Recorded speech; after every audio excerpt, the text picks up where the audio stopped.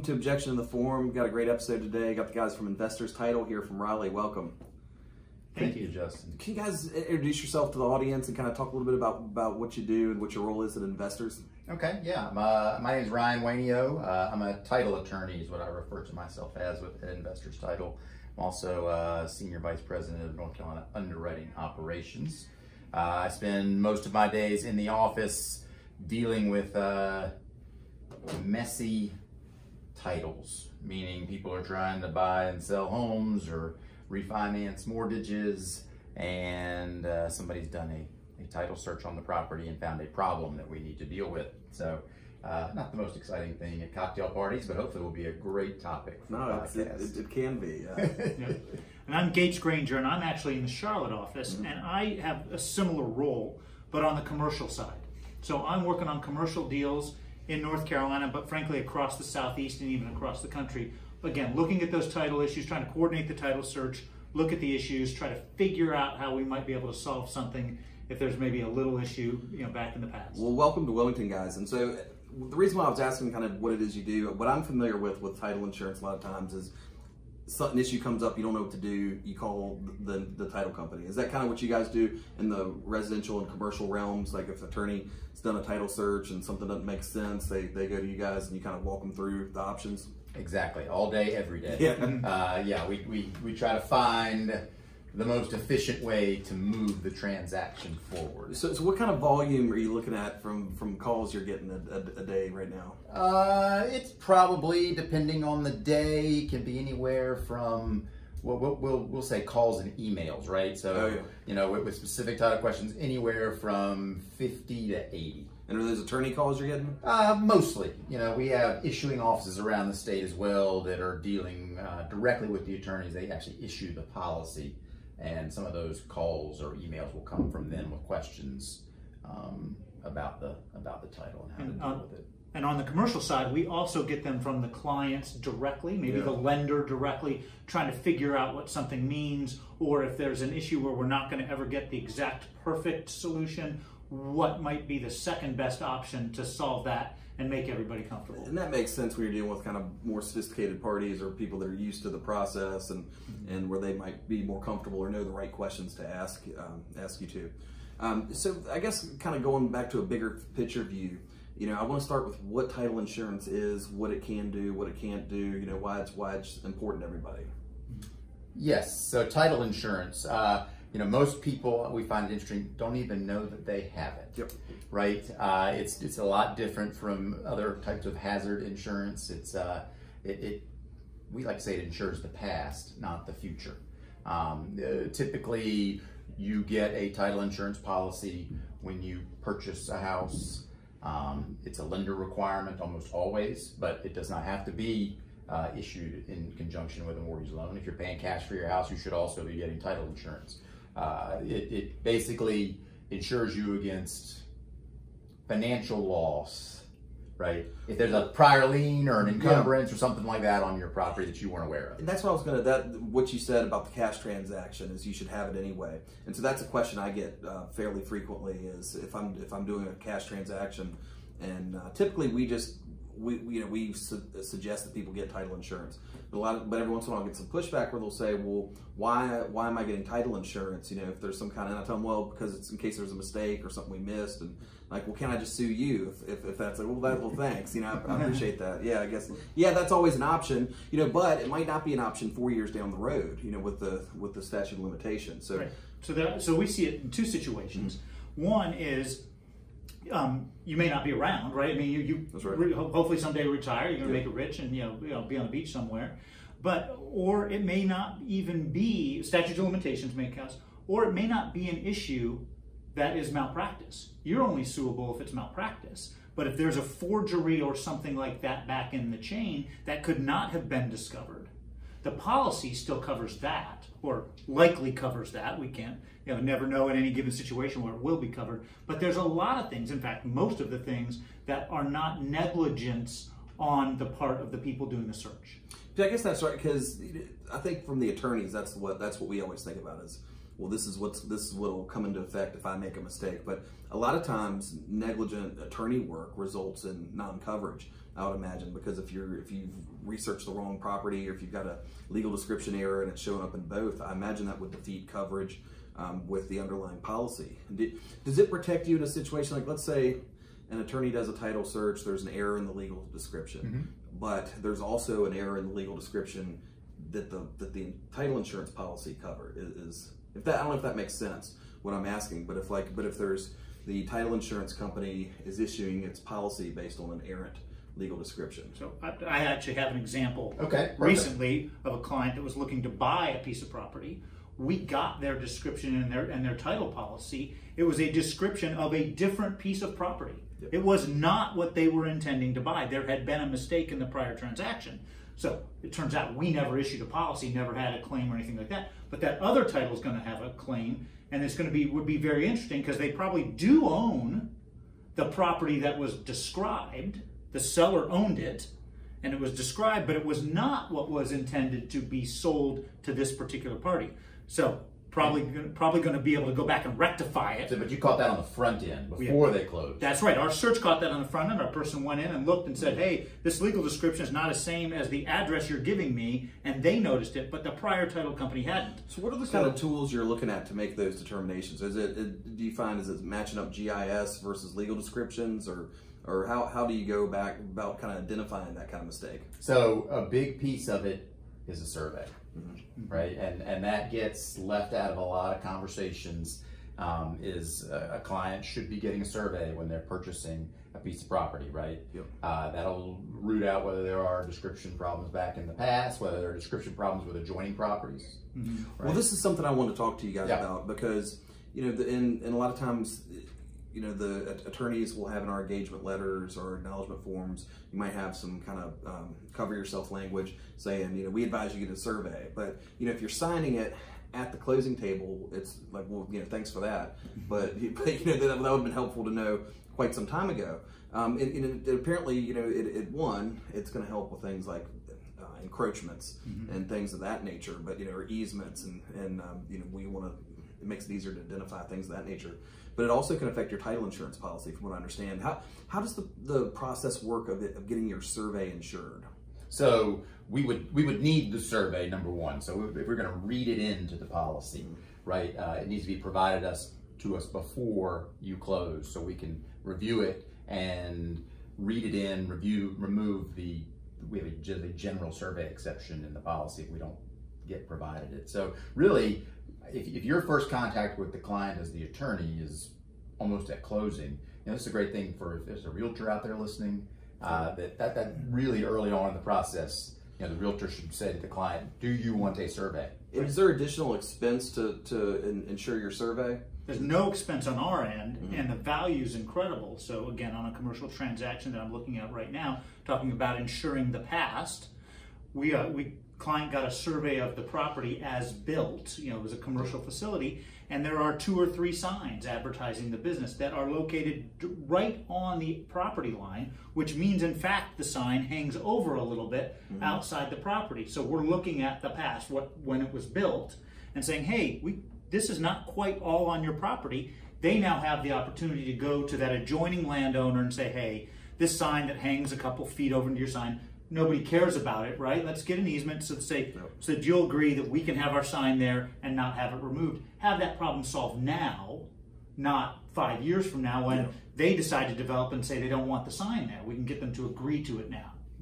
So what are your what are the remedies of a title insurance policy holder when you know situations like this occur? Like there's, uh, you know, I there's an easement nobody told me about, or it turns out my in my chain of title there was a forgery or something of that nature. What what is what's going to happen, or what, what how do you cash in on your policy? So there's really two things. You file once you file your claim, uh, it'll be evaluated by the claims department, and they will either a you know, fix your title for lack of a better term, right? You know, if there's a an old easement that crosses your property, you know, they will negotiate with the adjoining landowner who may have the right to use it to see what it takes to terminate the easement. Sometimes, you know, that payment of money to the adjoining landowner. Or, you know, they will basically indemnify you for loss. So if your property is worth $100,000 without the easement, but the fact that there's an easement across it now makes it worth 60 you know, they could pay you for your loss, right? So make make you whole essentially. That's why I say, you know, we call it contract of indemnity. Yep.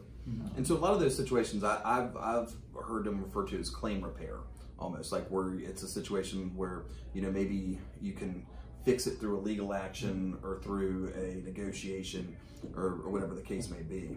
Do you have? Is it kind of like a car um, type situation where you have a total loss on a property where it's just like this is this this property has no more value? Uh, we- have had total losses on, on properties before. Um, it's limited to the amount of the policy, right? So if you buy a house for hundred thousand dollars, typically you're going to get a hundred thousand dollar policy, and that's your your your your, your all in value on it. Um, so if your total loss is that, we have had that situation, but it's rare. I would say very So, rare. in a personal example that also involves the survey, the first house I ever bought had a little alleyway going by it. When, when we got it surveyed, the back deck kicked into the alleyway a little bit. Now, there was a hedge there, and people who drove in that alleyway were driving just fine around the alley. But theoretically, they could, the people that drove in there could have said, hey, our car's wider, we need you to move, remove your deck my policy that the survey saw it, the insurance company said, hey, we're taking exception to this. I had to decide as the buyer, was I willing to live with that? Well, this was an older house. That deck was 20 years old. It was five years from needing to be replaced anyway. I was going to bet, I was willing to bet, hey, nobody's ever going to make me move it. It's working, this alleyway is working just fine. And if it needs to be repaired, I can redesign this. I decide to purchase the house. But if that were the corner of the house, Oh yeah. in the alleyway, you might have said, "Hey, I don't want to buy that because without resolving the issue because I want to know it beforehand." Did you still? Did anybody cause you any problems about the deck, or did you end up rebuilding it and moving it back? We actually sold the house to a to a friend of mine and we discussed it, and it is still the same way it is because that alleyway works just So, fine. so that that brings up an interesting point. So you get your survey pre, and, and probably one of the reasons maybe for the you know the realtors or or sometimes sellers, you know, that they might be apprehensive about when somebody gets a survey because well, what if the, the fence is over a foot?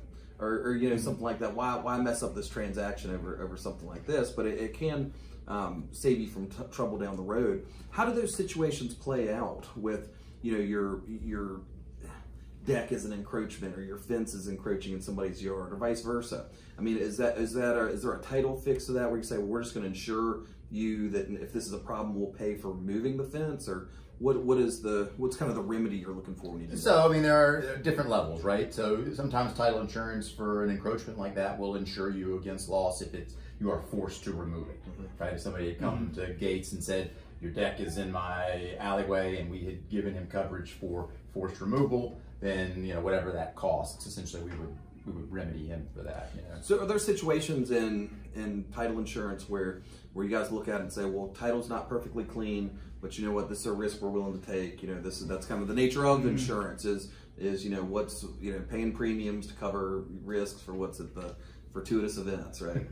um, so I guess yes, because you're right. Most of the time, um, you know, your neighbors don't want to make you move your your, your deck, and they, they don't want to do that. But at the same time, you don't know who your neighbors are going to be when, Right. you're, when you're moving in. Yeah, and a small fence uh, encroachment like that can be fixed with a, an agreement with the neighbor to allow it to be left in place. But you know, if it's a foot over, you know, sometimes a, an owner will say, "I'm comfortable with that." Right? If somebody ever comes and makes me move it, we'll figure it out. But a lender is never going to be okay with that. So a lender Yeah. needs that coverage, which that is the grease that makes the transaction go forward. So that kind of goes back into something you said earlier about how title insurance is always required by lenders, you know, in residential or commercial transactions. So what what is it that why is it that lenders have to have to be insured? Is it, is that like a just just they all have this as an underwriting requirement or Yes, it really arose, you know, in the secondary market. When they started selling their loans on the secondary market, you know, it became part of the, the package, right? So uh, every purchaser of a loan on the secondary wants to see that there's a title insurance uh, policy in place. So uh, with that, you know, essentially what we're doing is we're ensuring the priority of that mm-hmm. lender's mortgage, right? They want to know I've got a first lien on your property. You mm-hmm. ever stop paying me? I've got the ability to take that property back in a foreclosure mm-hmm. and, and sell it to Yeah. basically pay off your loan. It saves the buyers of those loans from having to go in and investigate the details of each individual loan.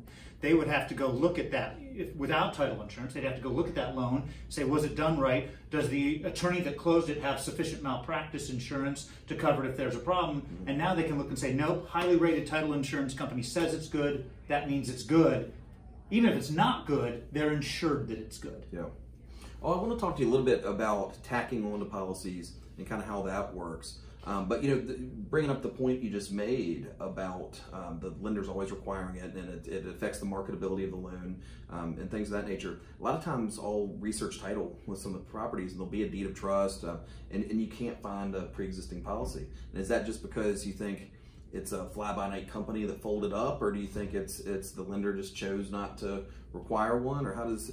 I think it's uh, it could be a combination of factors, right? Um, you know, you do have lenders who, on certain transactions under a certain level, may not require a title insurance policy, but you have a lot of issuing agents out there that come and go. They're not all located within the state of North Carolina necessarily, Yeah. right? So finding that prior title policy can be difficult. Right, Um, reporting them to their carrier. Yeah. Right, they're agents for whomever, and they may issue the policy, and that policy may in fact exist, but it may exist only in their office. They never gave the policy to the carrier, and then their office closed, or, or, Yeah. or they got out of North Carolina. And the way I understand investors is that you guys are kind of like um, State Farm or, or Nationwide, where you're an underwriter or an insurance company, but you're also an agency as well. Is, is my understanding correct, or is that? on the commercial side. Yes, so we are we are an underwriter, right, which is different. So the ultimately the the risk is on our we call our paper, right? We we accept that risk. We uh, are an agent uh, on the commercial side for certain commercial deals. We utilize that, but for the most part, we act as an underwriter. I see. So back, you know, when you're looking at title insurance companies, you look at all the ratings. You want to have one that's highly rated. We have all the highest ratings that you can have. Yeah. But we aren't the biggest national title insurance company. So on larger deals, we do write as an agent for one of the bigger companies. Gotcha. And and just what I was thinking, because from my experience, you know, you'll you'll submit an opinion um, or to commit a request, and I'm sending it to a local office. A lot of times um, when I'm working with investors, there's a local investors also. I just assumed that the that the local office was an agency, but I guess that's It's a direct issuing Direct office. issue. Okay, or that's- And- maybe and that's we- what I and meant with We the do state have some agents as Yeah. well. They're exclusive agents. Mm-hmm. But so yes, so we do have some relationships where there are agencies, but they are solely investors agencies. They are not independent. North Carolina has some peculiarities uh, with respect to you know one pricing. You know, it's my understanding that with with insurance products, it's it's regulated by the the Department of Insurance.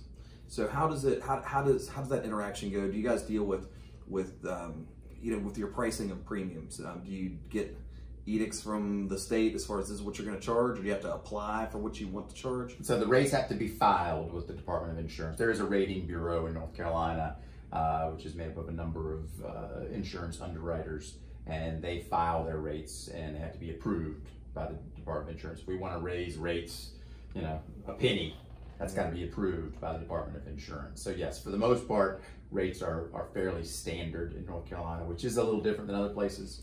I mean, in Virginia, for instance, I mean, you can bid on title mm-hmm. insurance, really? right? You know, so it's a, it's a bid state, they call it. So. When, when I I remember I, I tried doing that early on, and I would I would sit, you know when I first started, I'd be like, well, what, what can you do for me on this, or or what can you know because people would ask me to do it, like, all right, well that makes sense, I'll I'll go get you the best rate. I'd be like, well, I don't know, I've asked four people. And the first three have all come back the same, but I'll let you know when I when I hear back from the four. But yeah, but it's you know it's a it's a regulated It's a regulated industry. I pay what you pay. That's right. I don't get an empl- employee discount. That's right. and so we compete on service Mm-hmm. and accessibility and reasonability in terms of dealing with those issues. Yeah. You know, the people that you know you can trust to come up with solutions to problems, you know, that's who you want to work with. That's right. No, I, I, I agree 100%. You know, and it, it's it, it can just be kind of tricky. And one of the other things, you know, with North Carolina being an attorney closed state, a lot of times, so we've, we're seeing an influx, I'm sure, in Raleigh and Charlotte, the, the coastal North Carolina area is seeing an influx of, um, of new residents, um, you know, as a result of work from home. I think, uh, you know, I think there's a lot of reasons for it, but we're, but, it, and so a lot of folks that are buying their new homes or, or, uh, or, or second vacation or whatever it might be don't get what's going on. They ask about what about escrow or what about that they they're used to, to know like well we are the escrow. And they're like well you know, it's like I don't know. That's just that's the way it has to be here. It's just it's just odd. Um, yeah. So in, in title insurance in North Carolina, really all we do is issue the title insurance on the residential side, right? We do a little more mm-hmm. in the commercial side, but on the residential side, we just issue the title insurance, which is wholly different from a lot of states where the title company actually searches the title, closes the transaction, and issues the title insurance. Yep. In North Carolina, there's a statute that does not allow us to do that, right? We have to issue our policy, and not to bore you, but based on an opinion of an attorney who's not an employee or agent yep. of the company. Right. That, that, man attorneys are always angling for you know to hold on to something. So that makes sense. So how do, what's the distinction between the commercial end where there's there's additional steps that you can do in the commercial end that, that are that aren't in residential? Yep. So the residential rules do require a lot of that, and and some of those rules continue to apply. We have to get an opinion of an outside attorney to do our work, but because we're dealing with people nationwide, they're buying commercial property here, they do expect the title company sometimes to be the neutral party, Switzerland in a prisoner exchange of properties, basically. Yeah. And so we will get some documents in, we'll do that, but we'll also order title searches. So you've got a client that's looking to buy a property in Charlotte, you may not be searching Charlotte because of the distance away. We'll go get that opinion for you and do that. You may then close the deal, but again, because the parties aren't used to sending buyer's counsel the money, yeah. they're nervous about that. They may send it to the title insurance company and we'll handle the escrow there and disperse that based on instructions from the attorneys in the transaction. Yeah, probably about two or three times a year, I'll get one of those like, look, I'll give you the money when it when it records something like that. Right. Like, no, no, no. There's we got the Good Fund Settlement Act, and right. like, no, no, no. That you, you don't understand what I'm saying. yeah, I, I don't trust attorneys. Yeah, and, and, you know, you know who does? Who, who does? you know that that that makes sense. But those are always fun uh, interactions to get to go through that and say, you know, I'm gonna I'm gonna you know jeopardize my license for this you know this this thousand dollars or whatever it might mm-hmm. be. But you know, I mean, people don't trust attorneys, so I think you hit the nail on the head there. And, you know, speaking of attorneys, so uh, attorneys, uh, you, wouldn't you wouldn't think so, but tend to be the biggest marks on a lot of these like wire and phishing schemes.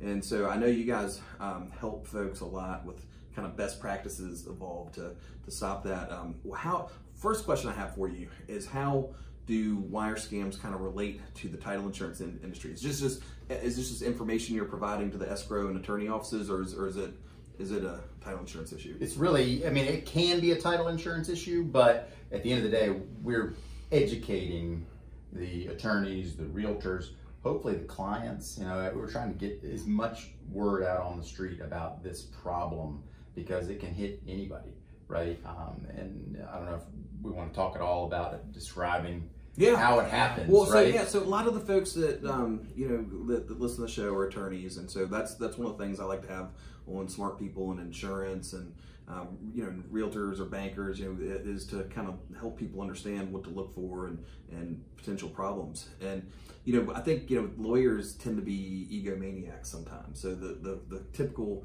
schemes I've seen is it's always like you know, dear counsel, you know, I need assistance for, you know, for multi-million dollar purchase, uh, you know, it could be land, could be whatever it might be. And that makes sense. Like, well, of course they're going to go to me, you know, if it's, mm. you know, but it's, but, you know, just for mine, it's like, all right, so you don't know, I've never heard of this person, you know, they're, they're emailing me directly. They are, um, they call me counsel or sir or something like that. You know, so it's probably a, a, you know, a canned email that's getting mm-hmm. sent everywhere around, but I get those maybe once a day, once every yeah, other day. Absolutely. And I guess it only it's the rule of hundred. You know, it only takes one, and then uh, you know you've made you know, you've right. got quite a bounty. But the scammers are very good. I mean, you kind of see it in two ways: spoofing emails, mm-hmm. right? They they find a way to make it look like it's coming from Investors Title, but they leave out the e, and so you and you don't notice that, and so you think you've gotten some tricks. Or it may even be you know somehow they figure out a way to change the attachment that you sent. Yeah. It's a legitimate email from you but they somehow intercepted it. In, in technology things, if they're so good at technology, they ought to be able to find an honest way to make money off of that yeah. knowledge.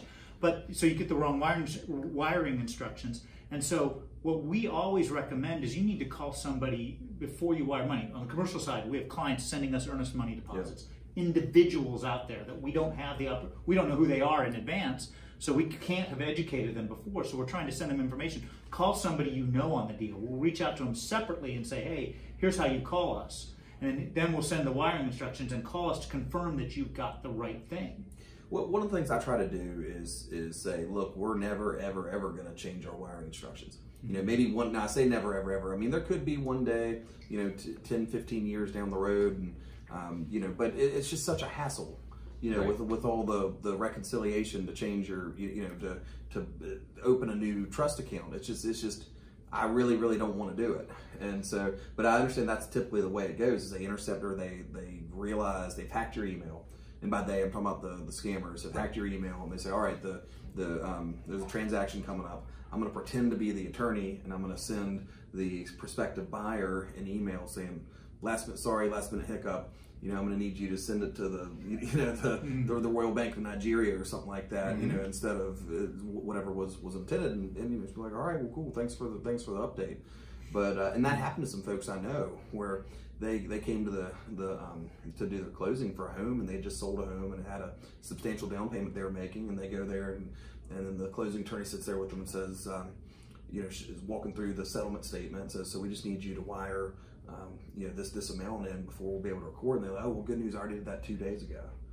And no, you know, Yeah. no, Well, and so to, to, to scare and help the attorneys that may be listening is the story I have that was a close call from somebody was they had uh, uh, a seller's counsel sent to buyer's counsel wiring instructions for the seller. Buyer counsel is going to hold it, you know, close everything, send it to the seller. Uh, buyer's counsel calls seller's counsel and says, "Got the wiring instructions? Can you verify them for me?"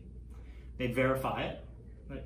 Well, as it turns out, the wiring the seller had emailed the wiring instructions to seller's counsel yeah, seller's counsel hadn't done any independent verification. They just read them off the email. That oh, email had Oh, no. already been intercepted before Oh, no. seller's counsel got it. So those were wrong. But buyer's counsel kind of somehow realized and thought to call the seller directly before closing. They discovered the problem because they called the primary source and they called the seller and they found it out beforehand. But it was that close. So you, it's always call the person who actually you sent you know, the, you're going to send yeah. the money to. But you know, and, and so sometimes I guess, and that's good. You, you gotta have their information independently. Like if they're a client, you know, you would have their information in their system. Because a lot of times it'll, you know, I'll see people that'll they'll get an email and then it, you know they'll say here and they'll have the number. Please call to confirm in the email. that's You're like, not oh the yeah, number no, to no, no, Yeah, no, you don't, that's you know, right. yeah, you don't do that. But a it's- number in the file that's already existing, that's the number to call. Yeah, and so and I've always heard that that kind of a best practices thing is that you want to, um, you know, never use un, or um, just regular email to send your wiring instructions. That's right. Encrypted email, important. And and so I guess the concern there is you don't want folks to. Um, you know, to intercept your, your email so they can manipulate your wiring instructions. Is that, That, that yes. I mean, see, the way these hackers work is, you know, I mean, you just think how much we use email in residential real estate transactions or commercial real estate Yeah. transactions, right? Uh, the attorneys emailing, the realtors emailing, the clients emailing. Uh, if it's not encrypted, the hackers are looking for keywords. They're looking for closing, you know, wire, you know, words like that. And when they find that, then they dive deeper, and that's when they start the phishing, right? And you know, they may fish who knows how many people a day. If they get one, right. yeah. they're somehow successful. that somehow that secure email, and you need to give uh, your next podcast can have the techies to explain this. Yeah. You know, sort of puts you know some type of protection on that you know email, and it goes through, and nobody can read that because it's encrypted.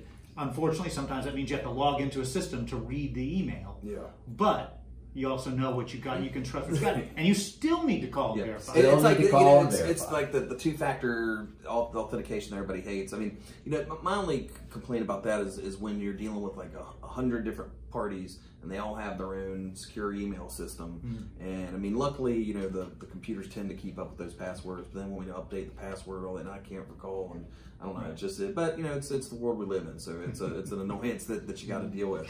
You know, we sometimes, I mean, I know, I know several residential attorneys, even though it's not really my world, is they require at closing. They first of all, they try to require people come to the closings Yeah. and then bring their wiring instructions. Like actually bring a piece of paper with it. Let's go back to the completely old-fashioned way. I don't want to get it by email. You, Yeah. you come go to your bank, get it from your bank, and then walk it here. Well, speaking of that, that brings up an, an issue that I know is probably you know kind of a you know it's a may or may not be a hot button issue in your world, but like the, the e-recording. So you know, I guess North Carolina, and I was just having a discussion with a, with a friend of mine um, had court this morning, and I was talking about, in, in my opinion, North Carolina is just drastically behind the civilized world, and, and especially even South Carolina, um, as far as the court systems and how we operate. You know, for example, North Carolina, you have to in a state court, uh, you have to file a lawsuit. You have to walk. You have to walk. Uh, down to the courthouse or you know you have to go inside and hand them the stack of paper and file it. Um, you don't you don't have that any most other there may be some states out there but you know south carolina doesn't do it that way. A lot of states don't do it that way. But you know it's kind of with e-recording we do have that which is nice. But we don't have the the uh, liens. Our, our system's archaic in, in my opinion, with respect to looking up liens. Like you get, there's no real time. Right. Um, so kind of the, the bucket issue. Yeah. So that's what that's what I'm getting into. Is you know, in the, I guess in the old days, you would walk down to the register of deeds and you would you would check. You know, you would you one you do your update, make sure that that nothing has changed, and then you'd go check the bucket to make sure there's no no liens or, or, or out conveyances or whatever that have happened, and then you'd put yours in the queue to record. But so you know here it's you know, we're recording and submitting online, but you're not going down to check the bucket. And, um, you know, the, the powers that be haven't figured out how to make that information av- immediately available. I know the, the the old basket or bucket. Yeah. You know, we've we've talked to more clerks than we can shake a stick at. You know, to why, why do we still have this, right? Yeah. Why can't we get rid of the bu- bucket or the basket? And you know, in some counties it's you know an hour behind. In some counties it's a day, maybe two days behind, right? Yeah. Um, and you know that is a scary thing. And you know, there are transactions out there that are more risky than others when we talk about the bucket, right? A lot of times what you're worried about in the bucket is a, a lien filing, right? If you got a new construction, uh, a mechanics lien being put in the bucket and not getting filed before the builder sells it to the buyer. You know, we have a relatively new system in North Carolina called Liens NC, which helps with that a good bit, right? Um, uh, so you can kind of get an idea from what's been filed at Liens NC. It's not a lien per se, but they're notices to the lien agent. You know, typically there's four or five filings on that system, but you know, you start to see more than that. Well, maybe this builder's, Yeah. you know, they might, might get to check a little closer uh, when it comes to that. And two things I have that on that. One is the first thing is that it, with the whole basket issue, it brings us back to why title insurance. Yeah. Because guess what? That's not malpractice. It's impossible to search. Yeah. Especially in a COVID world, you know, masks and everything like that. We can't you, you can't search that. So you're telling us, you know, what you've done. Yeah. We know you haven't searched that. That's a risk we have decided that we take. You know, and if we have a builder that has all sorts of issues, we might say, you know what, we're not going to take the risk on that issue because we're worried about that. Well, is that so? So with respect to that, so is that you'd say, look, I've got this builder, and then you might say, hold on, those guys are always getting, you know, those guys are, all, you know, you, you need to check the bucket on that one because because these folks are, you know, they just they, they get sued a lot. They don't, they, they, they like their payment disputes. Yes. But so it's kind of one of those things you need to look into on the front end. That's right. So, uh, you know, the process is we issue a commitment to issue our policy. It'll have requirements on there that need to be met before we'll issue it. If it's somebody like that, there are special considerations that we, we, we, would let you know, and then we put a special requirement in there that you need to do X, Y, Z before you move forward. Yeah, that makes sense. Well, what do you, with respect to a lot of the folks that, that listen are, are realtors, and you know, sometimes realtors have title insurance preferences.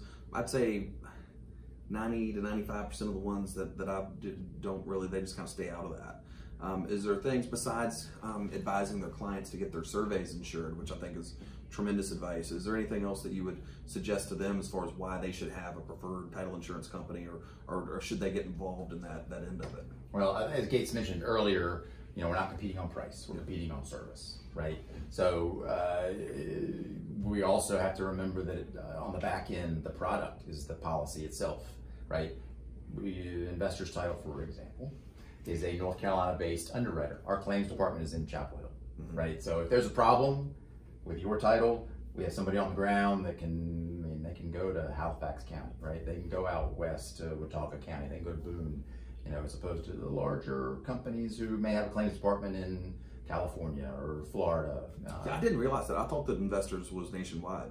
And we, well, we are nationwide, but you know, we are based here. Mm-hmm. We do things nationwide. Definitely a southeastern focus. Frankly, an eastern half of the U.S. focus. You got to give me a couple states on the other side of the Mississippi. Yeah. You know, we get to Texas and things like that, but we aren't doing California. But to the point of a mainly North Carolina or Carolina Southeast podcast, we have got title attorneys that know that area. We do it ourselves.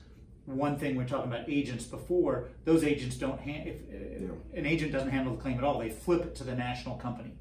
We're the we're that company, and so we're calling a, a group that Ryan knows very well that deals with those claims, knows North Carolina law. They aren't just saying, "Hey, here's a uh, easement across the thing. We'll just throw them money." No, let's look at the actual rights and let's solve that. But guess what? We also have to retain money under the insurance laws to handle claims, and so we've got money to pay claims. That's why that's why we're highly rated, by the way, is because we have Yeah, good retention. I want to get into that. So, what what are the different? So, are you talking about AM Best? Is that who rates you, or is that uh, that's one always that comes to mind? I always hear about we're AM Best rated. I think uh, yes, and then there's another company, uh, Demotech. I Demotech and Kroll, maybe. Maybe, You know, but we have the Kroll. highest ratings on all of those, and because it's something that, especially in the commercial world, as we expand and go to more states, you know, we might be in a state where somebody doesn't know of investors, and I provide that information to them, and all of a sudden they're like, "Yep, you're a title company that we can use." So these these ratings is it kind of like your typical classroom, like A through F, or what do you want to look out for? Like, because you know, I I guess in the world of going out to eat, you know, where where an, you know an eighty might be good on a on a math test, you know, that's not what you want at your at your seafood restaurant.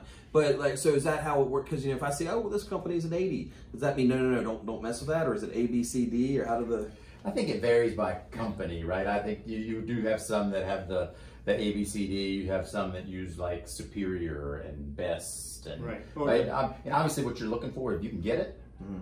at the same cost, right? Like we talked about, Yep. you get the one that's the highest rated, right? There's no reason not to. But if one of them does it like bond ratings, you know, that, where they're all A, right? Yeah. But it's A prime, A double prime, A triple prime, because nobody wants to not be an A. Yeah. Um, and so, you know, one of them's like that. But we have, like, literally in all of those, have the highest possible standing. Understood.